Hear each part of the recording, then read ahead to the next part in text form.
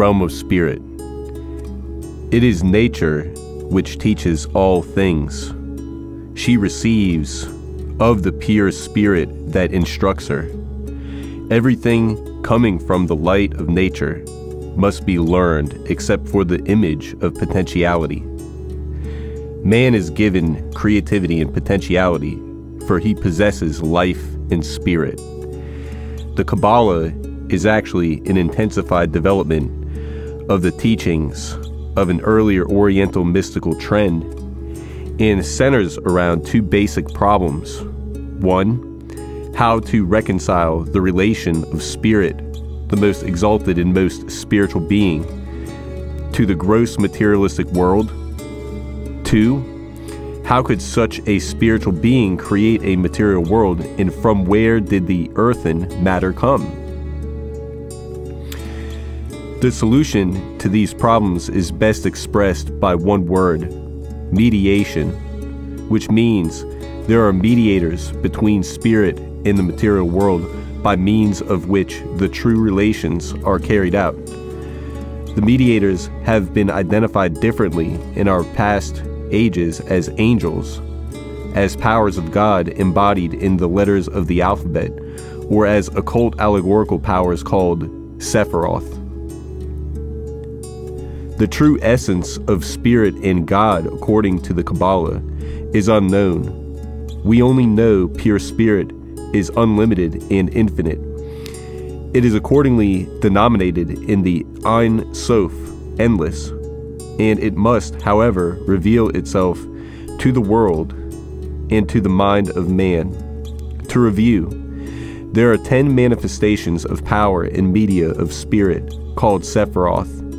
These are Kether, the crown, Chokmah, wisdom, and Bina, love and understanding, forming the first triad, which relates to pure being, Chesed, kindness, Gevurah, power, and Tifereth, beauty and glory, which are moral qualities.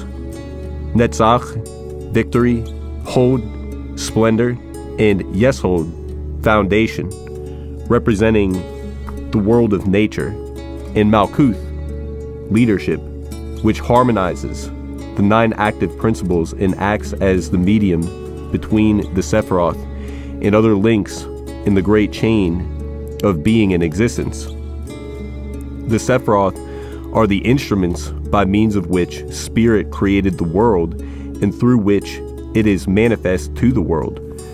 Pure Spirit, per se, is then a diffusive, non atomic, uncreated, formless, self existent being. It is silent, motionless, unconscious, and possesses in its sublime purity only one attribute expressible in human language. This is absolute and unconditioned potentiality or creativity. Such is the realm of spirit, which, for the sake of linguistic convenience, was termed by the occultist the realm of unmanifested being. We do not have to deal with the first emanation of this inconceivable state Yet the Kabbalah contains many long and elaborate treatises upon the various emanations of all ten Sephiroth. These are, for the most part, written in such an allegorical style as to be useless to most Western readers. Even the Oriental mind finds them somewhat unsatisfactory and in many respects totally misleading. The first emanation or manifestation from this realm of formless being and power claims the reader's closest attention. It forms the keynote of the entire divine anthem of creation.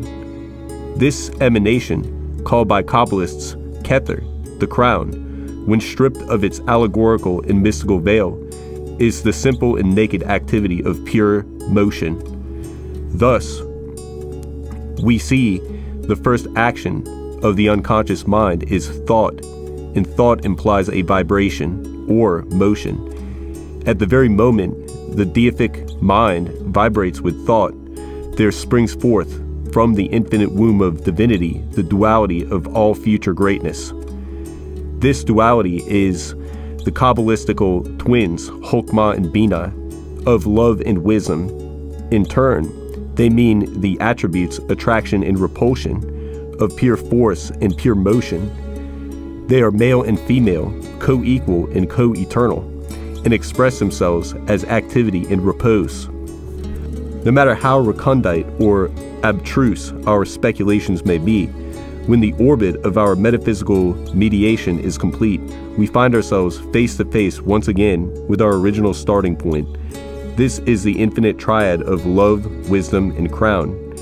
In other words, this triad is the one primal force of pure being containing unlimited potentialities within itself.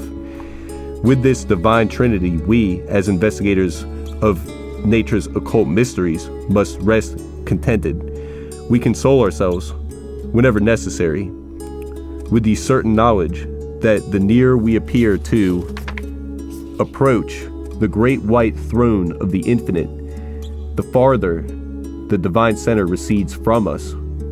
If this were not so, there could be no eternity for the atoms of differentiated life. Consequently, the immortality of the soul would be an empty dream or a mere figment hatched by some evil and infernal power within the overheated imagination of poor, deluded mankind. Before going any further, the reader should commit to memory the following doctrines. These are taught by the occult initiates of all true wisdom. They are doctrines to us in our present mortal state, since we cannot demonstrate them externally by any known form of scientific experiment. Number one, the whole universe is filled with the pure, motionless, formless spirit of creative and pure divinity. Number two, the universe is boundless and unlimited, a circle whose circumference is everywhere and whose center is nowhere. The universe is a duality and consists of the manifest and the non manifest. The life principle emanates from the pure vortices of the central spiritual sun of the manifest universe. From this mighty, inconceivable center of life emanate spiritual rays which are scintillating with activity.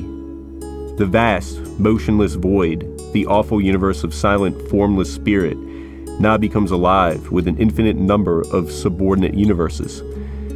The rays at various points in space are brought into focus, at these points or foci are formed the centers of smaller universes. An example of this great process may be seen upon our material plane by observing how primary suns throw off a series of secondary suns. These secondary suns then throw off the planets. The planets now become the parents of the moons. The science of correspondence states, as it is above, so it is below. Remember well these basic doctrines. The divine purpose of all creation is the differentiation of the unconscious formless one. The grand outcome of this great purpose is the ultimation of intelligences. Then, separate minds reflect the idea of the universal mind, and conscious, individualized mentalities possess immortal souls capable of eternal progression. They are differentiated life atoms, which become of themselves secondary factors in the arbitrators of the destinies of manifold worlds. The process of creation are duality of involution and evolution. The one is inseparable from the other. Paradoxical as it may appear to the uninitiated, it is a divine truth that the evolution and ultimation of spiritual life is accomplished only by a strict process of involution. It is from the without to the within, or from the infinitely great to the infinitely small. To better understand this mystery, we must use a series of symbols. Accordingly, we conceive the divine focus of the primal essence to the spiritual center of a universe. This ray constitutes a triune from which emanates the pure white light of the formless one. This center constitutes a realm of Sephiroth, a sun sphere of living potentialities, pure divine beings infinitely beyond the highest archangelhood. As such, we conceive of it as floating, as if it were a speck in the infinite ocean of divine love, surrounded by the effulgent brightness of the nameless crown. This divine sphere is completely passive in such a stage. Nirvana reigns upon with the blissful radiance of its motionless bosom. But the time approaches when its great mission in the scheme of creation must begin. The moment arrives, and as the first creative pulsation of thought in the whole sphere of motionless, formless, soft light flashes forth. It is sparkling with living spiritual energy. Now behold, what a change has taken place. The soft white light has ceased, and in its place there goes forth in every conceivable direction the mighty oceans of force, each ocean differing in its velocity, color, and potentiality.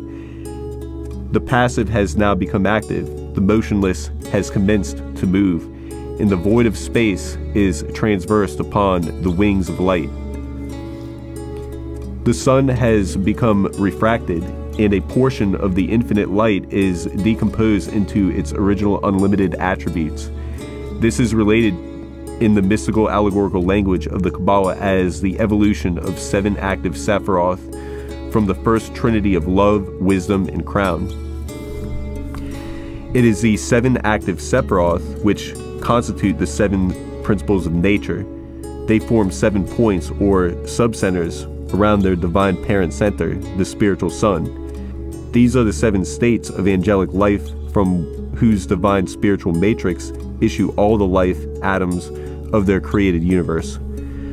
When the dawn of any universe commences, the pure formless essence is indrawn before being involved by the deific will of the angelic hierarchies.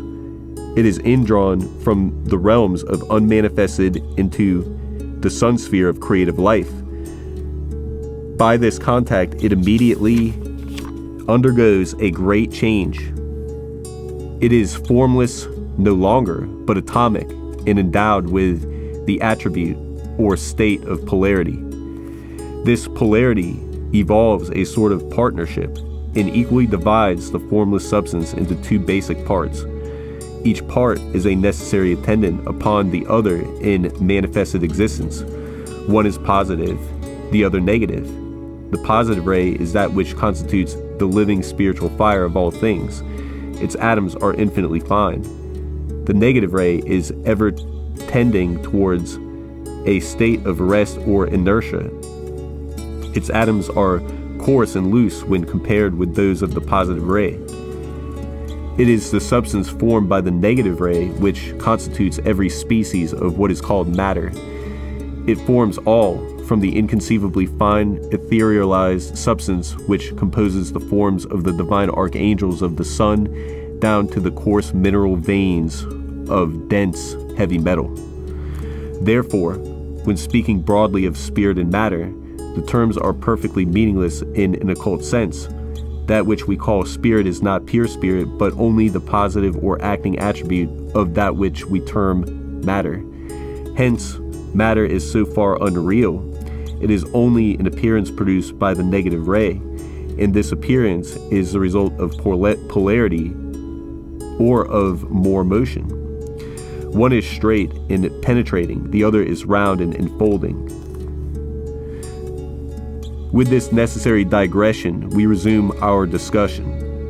From the seven angelic states mentioned before, spiritual involution commences each one of the seven spheres is a reflection of one of the seven refracted principles which constitute the divine mind.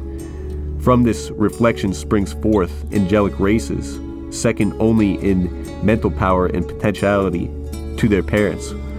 Then, in turn, there are produced still lower celestial states, each state of sphere corresponding in nature, color, and attributes to the sphere from which it was born or reflected.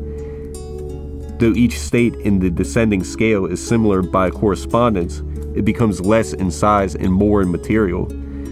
The spiritual potencies of its angelic races are weaker and less active because they are more and more involved with matter as they descend the scale. Thus does involution proceed, involving state after state and sphere after sphere, forming a series of circles whose line of motion or descent is not in the plane of its orbit. Thus, the form becomes as a spiral until the lowest point is reached.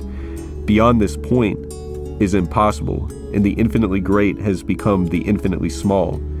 This is the great polarizing point from which the material world is reflected. It is the lowest possible spiritual state of life, which formed the first ethereal race of human beings upon our planet.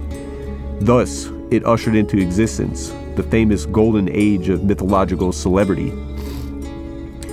There are thus two schools for man the school of the earth, which teaches earthly things, has its schoolmistress nature, and is indeed nature herself, insulates knowledge of itself and of those things which are in it. Then there is the other school, that from above. There, the teacher is deific spirit. It teaches us in the reborn body, not in the old body. And in this reborn man, it teaches heavenly wisdom. What is there in us, mortals, which has not come to us from the Sephiroth? Whatever teaches us the eternal also teaches us the perishable, for both spring from the realm of spirit. There are many who deem man and his power to be the highest good. There are men who consider the Malkuth to be the highest good, or hold the highest good to be their fellow men who do them a good turn, give them gifts, or help them. But in this they are mistaken. For is there not the triad love, wisdom, and crown above the emperor? Is there not someone who gives to the man, who in turn gives you what you need? Is not this someone more? We may rise as high as we can in search of the highest good, but all this remains within the earthly sphere. That which is eternal is above all of this. If he who has the power is just in himself, the power must so subjugate him so that he is sadder than those under him. For power comes from spirit and bears the human burdens that derive from it. It follows that to each is given the spirit he desires. To one, the spirit of wisdom, to another, the spirit of science, to a third, the spirit of faith, to a fourth, the spirit of healing, to a fifth, the spirit of power, to a sixth, the spirit of prophecy to a seventh, the spirit of tongues. Thus God gives diverse things through spirit, and not just one, but many hundreds, so man may know how marvelous is the spirit from which all things came. Each is twofold. On the one hand, there is the knowledge we learn from men. On the other hand, the knowledge we learn from the Spirit. The making of glass is not an art for him who has learned it from someone else but he who was the first to invent it himself deserves to be praised as an artist, for in him we feel the action of spirit. But in him who can do only what he has learned from others, the presence of spirit cannot be felt. Man can do none of this by his own strength. All his wisdom, his reason, and everything that is in him cannot discover the new, let alone fully develop its properties. Those who learned from the first teachers, learned directly from others, but they too lived by the Spirit. For it was put into those men, and it has thus come down from the first to the most recent man. And thus the Spirit triumphs on earth among men.